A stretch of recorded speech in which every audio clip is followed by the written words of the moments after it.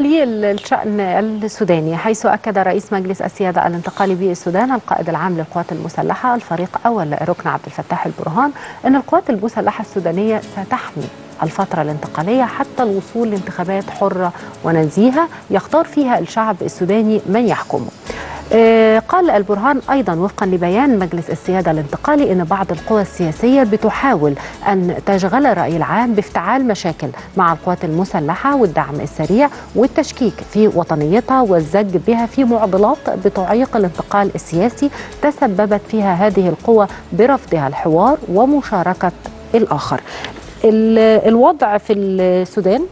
وقراءة هذه التصريحات من الفريق أول عبد الفتاح أول ركن عبد الفتاح البرهان شايفها إزاي؟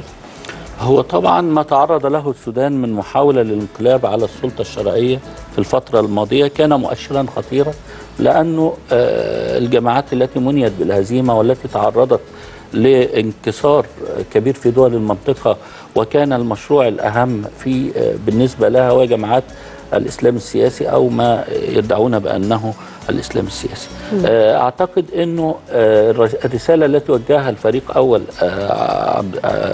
عبد الفتاح البرهان كانت م. واضحة للغاية.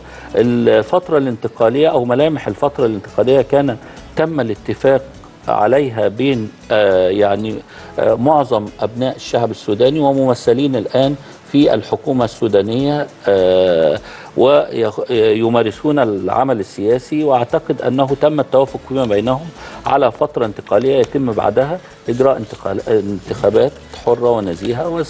ونقل للسلطة بشكل مباشر.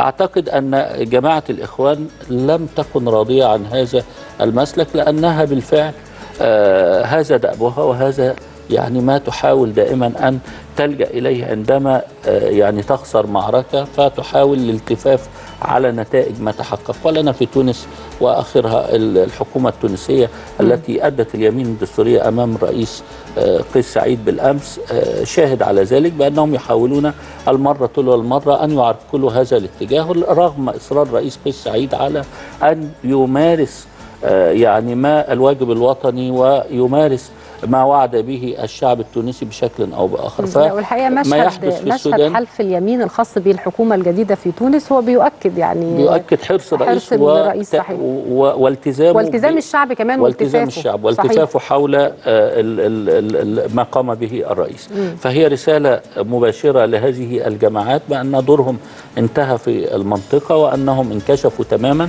أعتقد أن الرسالة التي وجهها الفريق عبد الفتاح البرهان كانت واضحة بأنه ملتزم بالسياق الذي تعهد به أمام الشعب السوداني وأنه سيقوم بهذا يعني هذا الواجب أمام الشعب حتى يؤدي رسالته. وهذا أعتقد أن هذه مهمة الجيوش الوطنية سواء في السودان أو في مصر وأعتقد أن ما يشهده السودان سيؤكده الخطوات التي ستتم بعد ذلك وأنه الجيش هو حارس أمين على مطالب الشعب السوداني. تصريحات يعني هذه التصريحات الرسائل اللي بتحملها يمكن زي ما إحنا قلنا أعتقد إن هي موجهة لهذا الفصيل بالظبط تحديدا يعني.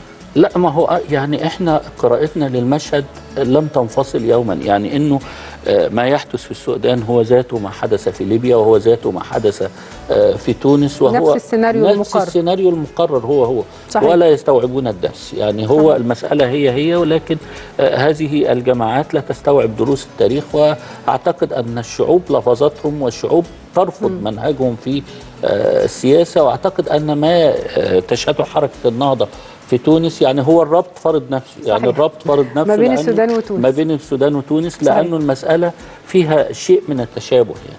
فمسألة أن يعني ينزوي هؤلاء ويبتعدوا عن ما يحاولون الوصول إليه أعتقد أن هذه مطالب الشعوب العربية الآن بعد معاناتنا جميعا مما اقترفوه صحيح.